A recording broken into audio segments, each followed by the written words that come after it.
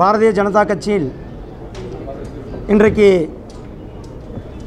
திருப்பரங்குன்றத்தினுடைய சட்டமன்ற உறுப்பினர் டாக்டர் திரு பி சரவணன் அவர்கள் தங்களை பாரதிய ஜனதா கட்சியில் இணைத்து கொண்டிருக்கிறார். அவரை தமிழக பாரதிய ஜனதா கட்சியின் சார்பில் முழு மனதோடு வருக வருக என வரவேற்கிறேன். கடந்த வாரம் ஆயிரம் விளக்கு சட்டமன்றத்தினுடைய உறுப்பினர் மரியாதைக்குரிய திரு கூகா செல்வம் அவர்கள் பாரதிய ஜனதா கட்சியில் தங்களை இணைத்து கொண்டார்கள். இரண்டு மூன்று தினங்களுக்கு முன்னால் பிரபல சினிமா நடிகர் மரியாதைக்குரிய அண்ணன் செந்தில் அவர்கள் தங்களை இணைத்து கொண்டிருக்கிறார்கள். இப்படி பாரதிய ஜனதா கட்சியில் தினந்தோறும் பிரபலங்கள் இணைவது எங்களுக்கு ஒரு மிகப்பெரிய ஊக்கத்தை கொடுத்து கொண்டிருக்கிறது. இன்னும் பாரதிய ஜனதா கட்சியில் இணைய இருப்பவர்களுக்கு பாரதிய ஜனதா கட்சி முழு மனதுடன் அவர்களை வரவேற்பதற்கு தயாராக இருக்கிறோம். இப்போது இன்றைக்கு இணைந்திருக்கின்ற டாக்டர் பி. சரவணன் அவர்களை பாரதிய ஜனதா கட்சியின் சார்பில் வருக வருக என வரவேற்று அவருக்கு என்னுடைய அன்பு கலந்த வாழ்த்துக்களையும் தெரிவித்துக் கொள்கிறேன். நன்றி வணக்கம். தற்பொழுது திருப்பரங்குன்றம் சட்டமன்ற தொகுதியோட சட்டமன்ற உறுப்பினர் நான்.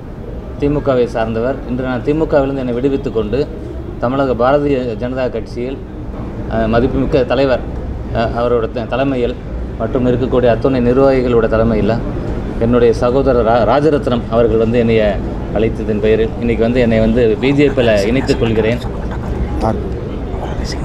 நம்மளுடைய மாண்புமிகு பாரத பிரதமர் திரு மோடிஜி அவர்களுடைய அந்த கொள்கைகளை எடுத்து செல்வதில் நான் நிச்சயம் அவர்களுக்கு பக்கபலமாக இருப்பேன் என்று தெரிவித்துக் கொள்கிறேன்.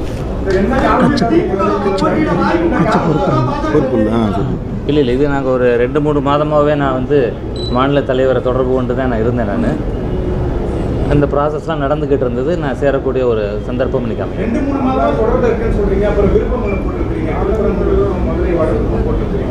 ஆமாம் அந்த கட்சியில் நான் இருக்கிறேன். அந்த நேரத்துக்கு இருக்கிறேன் நான். இருக்கும் பொழுது ஒரு கட்சியில எம்எல்ஏவா இருந்து அங்க போட்டியிடறதுக்கு வாய்ப்பும் கேட்டுட்டு இன்னொரு தலைமை கூட தொடர்ந்து இருக்கிறதா சொல்றீங்க. இல்லை என்ன இருக்குல்ல இதில்? என்ன இருக்குது ஒன்றும் இது இல்லையே. இல்ல சார் இல்ல திமுக திமுக சீட்டு கிடைக்கன்ற அதிருப்தியில நீங்க பாஜக இணைஞ்சதா சொல்றாங்க இப்ப நீங்க மூணு மாசமா பேசிட்டு இருக்கீங்கன்னா அப்ப அந்த அதிருப்தி உங்களுக்கு இல்லையா? இல்லை. இல்லை திமுகன்றது அது ஒரு கட்சியில் நான் எம்எல்ஏவாக இருக்கிறேன். எலெக்ஷன் ப்ராசஸ் அது வேற. இது நான் ஏற்கனவே ஆறு வருஷத்துக்கு முன்னாடியே பாரதிய ஜனதா கட்சியில் நான் உறுப்பினர் இருந்து வருதேன். திரும்ப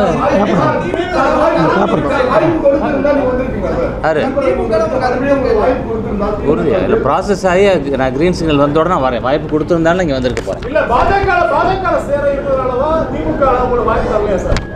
ரொம்ப சந்தோஷம். தம்பி அப்புறமா அவர் அவர் தனியாக அப்புறமா தருவார். அவர் அது சொல்லுங்க. முக்கியக்கூடிய வகையில ரொம்ப பெருமையா இருக்கிறாங்க. நீங்க என்ன கொள்கை பிடிச்சிருக்கு எந்த மாதிரி கொண்டு வர போறீங்க? இப்போ நம்ம சிம்பிள் எக்ஸாம்பிளாக நான் ஒரு டாக்டர் நான். இப்போ இந்த கொரோனாவை எடுத்துக்கிட்டால் கூட கொரோனா வேக்சின் வராதுன்னு நிறையா பரவலாக நிறைய கட்சிகள் சொல்லிக்கிட்டு இருந்தேன் நானே கூட சொல்லிக்கிட்டு இருந்தேன். இப்போ கொரோனா வேக்சின் வந்து எல்லாருக்கும் இப்போ சக்ஸஸ்ஃபுல்லாக வேக்சினேஷன் நடந்துக்கிட்டு இருக்குது இன்னும் பல நாடுகளுக்கு நம்ம வேக்சினை இப்போ சப்ளை பண்ணியிருக்கோம் இந்தியா. அதனால் ஒரு பானை சோற்றுக்கு ஒரு சோறு பதம் அப்படின்ற மாதிரி இந்த ஒரு கருத்து கூட போதும். மருத்துவரின் அடிப்படையில் நான் சொல்கிறேன். அது மாதிரி எண்ணற்ற திட்டங்கள் இருக்கிறது. நம்ம அதெல்லாம் தனியாக பேசுவோம் நம்ம. இல்லை தம்பி தம்பி அவர் அவர் தனியாக தனியாக அப்புறமா பேட்டி கொடுப்பார். வெயிட் பண்ணு. தமிழக பாரதிய ஜனதா கட்சியின் சார்பில் நேற்றைக்கு எங்களுடைய பாராளுமன்ற ஆட்சி மன்ற அதாவது பாராளுமன்ற உயர்மன்ற குழு கூட்டமானது நடைபெற்றது. அதில் எங்களுடைய பரிந்துரைகளை வேட்பாளர்களுக்கான பரிந்துரைகளை கொடுத்திருக்கிறோம். வேட்பாளர்களுடைய பட்டியலை தேசிய தலைமை மிக விரைவில் அறிவிக்கும். இரண்டாவதாக இன்றைக்கு எங்களுடைய தேர்தல் பிரச்சார வாகனங்கள் தமிழகம் முழுவதும் கிட்டத்தட்ட இருபத்தி மூன்றுக்கு மேற்பட்ட தேர்தல் பிரச்சார வாகனங்களை இன்று தொடங்க இருக்கிறோம். எங்களுடைய மத்திய அரசாங்கத்தினுடைய திட்டங்களையும் மத்திய அரசாங்கம் தமிழகத்திற்கு என்னென்ன நல்ல திட்டங்களை செய்திருக்கிறது விவசாயிகளுடைய சன்மான நிதி கொடுத்த திட்டம் அனைவருக்கும் வீடு கொடுத்த திட்டம் அதே மாதிரி உஜ்வாலா அதாவது இலவச கேஸ் இணைப்பு திட்டம் இப்படி மக்களை சென்று சேரும் விதமாக மக்களிடத்தில் சென்று சேரும் விதமாக எங்களுடைய பிரச்சார வாகனங்களை இன்றைக்கு தொடங்க இருக்கிறோம். இந்த பிரச்சார வாகனங்கள் நாங்கள் எங்கெங்கு போட்டியிடுகிறோமோ அந்தந்த தொகுதிகளுக்கு அனுப்பப்படுவதற்காக தயார் நிலையில் வைக்கப்பட்டிருக்கிறது. அதை தொடங்கி வைக்க இருக்கிறோம். இதைத் தொடர்ந்து எங்களுடைய தேர்தல் பொறுப்பாளர்களினுடைய கூட்டமானது தொடர்ந்து நடைபெற இருக்கிறது. நாளை எங்களுடைய தேசிய பொதுச் செயலாளர் மரியாதைக்குரிய திரு சி டி ரவி அவர்கள் நாளைக்கு கலந்து கொள்ள இருக்கின்ற ஆன்லைனில் ஜூம் கூட்டமானது நடைபெற இருக்கிறது. நாங்கள் எங்களுடைய மத்திய அரசாங்கத்தினுடைய திட்டங்களையும் மாநில அரசாங்கம் தன்னுடைய திட்டங்களையும் மக்களிடத்தில் கொண்டு சேர்த்து எங்களுடைய தேர்தலை எதிர்கொள்வதற்கு தயாராக இருக்கிறோம். நேற்றைக்கு திராவிட முன்னேற்றக் கழகத்தினுடைய தேர்தல் அறிக்கையானது வெளியிடப்பட்டது. அந்த தேர்தல் அறிக்கையில் நான் சுருக்கமாக சொல்லப்போனால் ஒவ்வொரு வருடமும் ஒரு தேர்தல் அறிக்கை சொல்கிறாங்க ஒவ்வொரு தேர்தல் அப்பையும் ஒரு தேர்தல் அறிக்கை சொல்லுவாங்க. அந்த தேர்தல் அறிக்கை பொய்யும் புரட்டும் கொண்ட தேர்தல் அறிக்கையாக இருக்கிறது. அதே மாதிரி அந்த தேர்தல் அறிக்கையில் சொல்கிறது ஒன்றதாக இருக்கிறது. ஆட்சிக்கு வந்த பிறகு தேர்தல் அறிக்கையை மறந்துட்டு கொள்ளையடிப்பதில் கொள்ளை ஆட்சிக்கு வந்த பிறகு கொள்ளையடிப்பதில் கவனம் செலுத்திக் கொண்டிருக்கிறார்கள். அதாவது தேர்தலுக்கு முன்னாடி ஹிந்தியில் சொல்லுவாங்க. அந்த அறிக்கை வந்து ஜூட் பொய்யான தேர்தல் அறிக்கை. அதே மாதிரி ஆட்சிக்கு வந்த பிறகு அவங்க லூட் பண்ணுறது தான் வாடிக்கையாக வச்சுருக்கிறாங்க. அதனால் அந்த தேர்தல் அறிக்கை மக்களை ஏமாற்றுகின்ற தேர்தல் அறிக்கையாக இருக்கிறது. நான் கேட்குறேன் அவர்களுடைய தேர்தல் அறிக்கையில் விவசாயிகளுக்கு இரண்டு ஏக்கர் நிலம் கொடுக்கப்படும் சொன்னாங்க. இன்றைக்கு வரலும் அதை பற்றி எந்த ஒரு பதிலும் கிடையாது. ஆனால் அதையெல்லாம் மறந்துட்டு அவர்கள் ஆட்சிக்கு வந்தால் கொள்ளையடிப்பதில் தான் கவனம் செலுத்துகிறார்கள். அதே போல் கட்ட பஞ்சாயத்து செய்வது நில அபகரிப்பு. நில அபகரிப்புன்றது தமிழகத்தினுடைய திராவிட முன்னேற்றக் கழக ஆட்சியில் ஒரு மிக இருண்ட காலமாக இருந்தது. நிலம் வச்சுருந்தவங்கெல்லாம் ஒரு பயந்து கொண்டு இருந்த சூழ்நிலை இருந்தது. திமுக காரங்க மேலே அவ்வளவு முக்கியமான தலைவர்கள் மேலேயும் கேஸ் ஃபைல் பண்ண அவங்க மேலே கேஸ் இருக்கிறது. நில அபகரிப்பு புகார்கள் இருக்கிறது கேஸ் இருக்கிறது. அவர்கள் ஆட்சிக்கு வந்தால் நிச்சயமாக மீண்டும் கட்ட பஞ்சாயத்து தலைவிரித்தாடும் ஊழல் தலைவிரித்தாடும் நிலங்கள் அபகரிக்க அபகரிக்கப்படும் என்பது மக்கள் பயம் பயத்துடன் இருக்கிறார்கள். ஆகையால் பொதுமக்கள் திராவிட முன்னேற்றக் கழகம் என்னென்ன பொய்யான அறிக்கை விட்டாலும் கூட போலியான அறிக்கை விட்டால் கூட ஒரு அதை மக்கள் நம்புவதற்காக தயாராக இல்லை. மக்கள் தேசிய ஜனநாயக கூட்டணி அண்ணா திராவிட முன்னேற்றக் கழகத்தினுடைய தலைமையிலான தேசிய ஜனநாயக கூட்டணிக்கு வாக்களிக்க தயாராக இருக்கிறார்கள். மீண்டும் தேசிய அண்ணா திராவிட முன்னேற்றக் கழகத்தின் தலைமையிலான தேசிய ஜனநாயக கூட்டணி ஆட்சியை பிடிக்கும் என்பதை உங்களிடத்தில் சொல்லிக்கொள்ள விரும்புகிறேன்.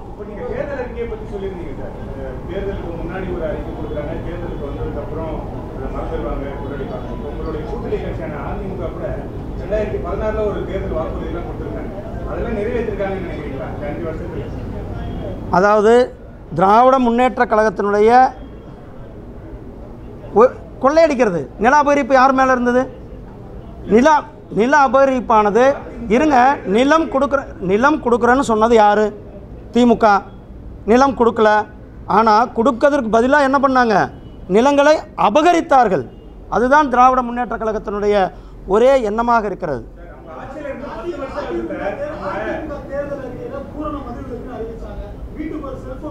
நீங்கள் வெயிட் பண்ணுங்க. அதிமுகனுடைய தேர்தல் அறிக்கை வரப்போவதில்லை. வந்த பிறகு அதை பற்றி சொல்லுவோம் இப்போ நீங்க சொன்ன கருத்து அவங்களுக்கா பொருந்துமான்னு கேட்குறேன். இல்லைங்க அவங்க அவங்களுடைய தேர்தல் அறிக்கை வரட்டும்.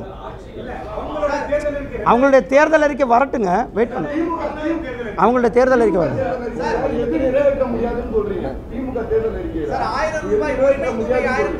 திமுகனுடைய தேர்தல் அறிக்கையானது பொய்யும் புரட்டுமானது.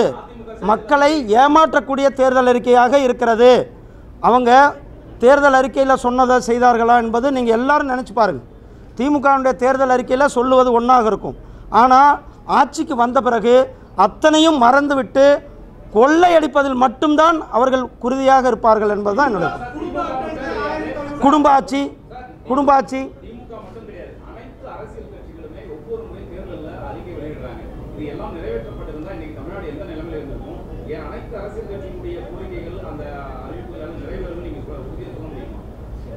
மக்கள் அது வரட்டும். எல்லாமே நிறைவேற்றுவதற்காக தான் சொல்கிறாங்க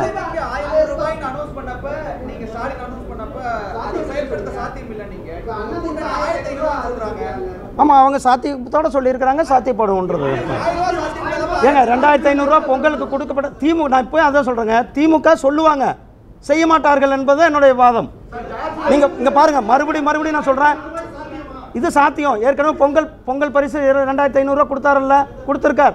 திமுக வந்து சொல்லுவாங்க. நான் சொன்னதை நீங்கள் இன்னும் யாரும் புரி திமுக வந்து பாருங்க திமுக வந்து சொல்லுவார்கள் ஆனால் செய்ய மாட்டார்கள். அதுதான்.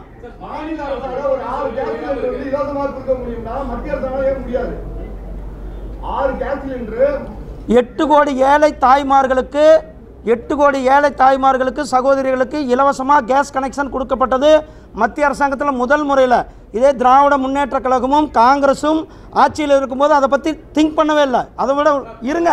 ரெண்டாயிரத்தி பதினாலுக்கு முன்னாடி நாம் யாராவது நம்மளுடைய தாய்மார்களை பற்றி சிந்திச்சிருக்கோமா?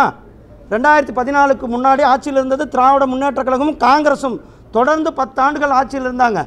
யாராவது நம்மளுடைய கிராமப்புற மகளிர் தாய்மார்களை பற்றி சிந்தித்தார்களா? ஆனால் ரெண்டாயிரத்தி பதினாலுக்கு பிறகு மோடிஜி அவர்கள் இலவசமாக இன்றைக்கு ஐந்து ஆ- ஐந்து ஆறு வருடத்திற்குள்ள இந்தியா முழுவதும் அனைத்து வீடுகளுக்கும் இலவசமாக டாய்லெட் கட்டி கொடுக்கப்பட்டது. அதை பற்றி ஏதாவது நினைச்சார்களா திமுக? நினைக்கல.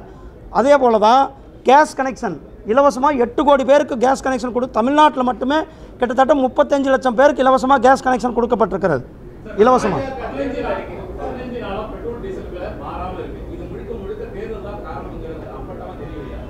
ஏங்க தேர்தலில் நீங்கள் வந்து ஏறுனா ஏறுதுன்றீங்க. இப்போ மாறாமல் இருந்தால் மாறாமல் இருக்குன்றீங்க. மக்களுடைய நலனை பாருங்கள் சார். ஏங்க இது வந்து சர்வதேச விலையை பொறுத்தது அதுதான் சார் இலவச கேஸ் சிலிண்டர் எட்டு கோடி கொடுத்துருக்கா சொல்லியிருக்கீங்க இன்னைக்கு அதிமுகவோட தேர்தல் அறிக்கையில ஆண்டுக்கு ஆறு சிலிண்டர் இலவசம் சொல்லியிருக்காங்க ஒரு சிலிண்டரோட விலை எட்நூத்தி ஐம்பது ரூபா போகுது வருஷத்துக்கு ஆறு சிலிண்டர் சிலிண்டர் இலவசம் அப்படின்றது நடைமுறையில சாத்தியமா ஒவ்வொரு குடும்பத்துக்கும் ஏங்க இது வந்து பாருங்க நீங்கள் தி மறுபடியும் நான் அதுதான் சொல்கிறேன் இல்லை இல்லை நான் மறுபடியும் அதுதான் சொல்கிறேன் திமுகனுடைய ஏழு டாக்குமெண்ட் கொடுத்தாரு செவன் டாக்குமெண்ட்ஸ் ஞாபகம் இருக்குன்னு நினைக்கிறேன் போன வாரம். அந்த ஏழு டாக்குமெண்ட் என்னது? விஷன் டாக்குமெண்ட் கொடுத்தார். ஏழுமே மத்திய அரசாங்கத்தினுடைய திட்டங்களை என்டாஸ் பண்ணி கொடுத்தார். ஸ்மார்ட் சிட்டி எழில்மிகு நகரங்கள்னு சொன்னார். ஏற்கனவே ஸ்மார்ட் சிட்டி நடைமுறைப்படுத்தப்பட்டு இருக்கிறது. அதே மாதிரி குடிநீர்னு சொன்னார். ஜல்ஜீவன் திட்டத்தின் கீழே கிட்டத்தட்ட இருபத்தாறு லட்சம் பேருக்கு ஏற்கனவே இலவசமாக பைப் கனெக்ஷன் கொடுத்தாச்சு. இன்னும் ஒரு கோடி பேருக்கு கொடுக்கறதுக்கான இலக்கு நிர்ணயிக்கப்பட்டிருக்கிறது மத்திய அரசாங்கம். அதே போல தான் அனைவருக்கும் வீடு கட்டும் திட்டம் மத்திய அரசாங்கம் வீடுகள் கொடுத்து கொண்டு இருக்கிறது அதை வந்து நாங்கள் செய்ய போகிறோம்னு சொல்கிறாங்க என்னென்ன மத்திய அரசாங்கம் செய்து கொண்டு இருக்கிறதோ அவங்க வந்து நாங்கள் செய்ய போகிறோன்றோம் இதுவும் கேஸ் கொடுக்கறது மத்திய அரசாங்கத்தினுடைய திட்டம். அதை வந்து நாங்கள் கொடுக்க போகிறோம்னு சொல்கிறாங்க சாத்தியம் இல்லாததான் நான் தானே சொன்னேன் திமுக எதுவும் சொல்லுவார்கள்? சொன்ன ஏங்க திமுக வந்து சொல்லுவார்கள் சொன்ன பிறகு மறந்துவிட்டு ஆட்சிக்கு வந்தால் வரமாட்டார்கள் வந்தால் ஊழல் செய்வதும் கட்ட பஞ்சாயத்து செய்வதும் நில அபகரிப்பு செய்வதும் தான் அவர்கள் பிரதானமாக வைத்திருப்பார்கள். நன்றி. காங்கிரஸ்குள்ள காங்கிரஸ்குள்ள சண்டை போடாமல் இருந்தால் அது ஒரு கேள்வி. சண்டை போடாமல் இருந்தால் அது ஒரு கேள்வி ஒரே கேள்வி நீங்க ஊழல் ஊழல் ஊழல் சொல்றீங்க ஏடிஎம்கேவில் என்ன காரணத்துக்காக இன்க்ளூடிங் மறைந்த முதல்வர் உள்ளிட்ட எத்தனை பேர் சிறை தண்டனை விதிக்கப்பட்டது எதன் காரணமா அவங்க இங்க பாருங்க மறைந்தவர்களை பற்றி பேசுவது அநாகரிகம். அதை பற்றி சே பேசுவது சரியாக இருக்காது. அவங்க வந்து அதுக்கான தண்டனை அனுபவிச்சுட்டு வந்திருக்கிறாங்க. அவங்க வந்து அரசியலில் இல்லைன்றார். அவங்க வந்து அரசியலில் இல்லைன்னு சொல்கிறாங்க ஆமாம் பதவியிலேருந்து இருக்கிறாரு?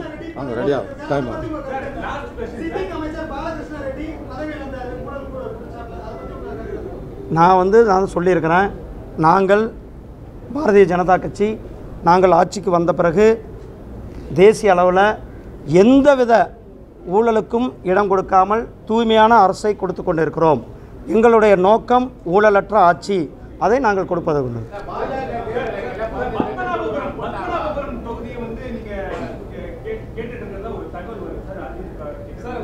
ஏங்க ஏற்கனவே ஒரு நிமிஷம். ஏற்கனவே அக்ரிமெண்ட் போட்டாச்சு. வேட்பாளர்கள் அனுபவிச்சாச்சு தேர்தல் வழிகள் நடந்து கொண்டு இருக்கிறது தெரிலங்க அது ஆல் இந்தியா தலைமை முடிவு செய்வார்கள். இல்லை ஆல் இண்டியா தலைமை அதான் நான் சொன்னேன் இப்போ இப்போ எடுத்தோன்னே அதுதானே சொன்னேன். நேற்று பார்லிமெண்ட் கூட்டம் முடிந்து இருக்கிறது. நாங்கள் எங்கள் இதை கொடுத்துட்டு வந்திருக்கிறோம். அவர்கள் முடிவு. நன்றி.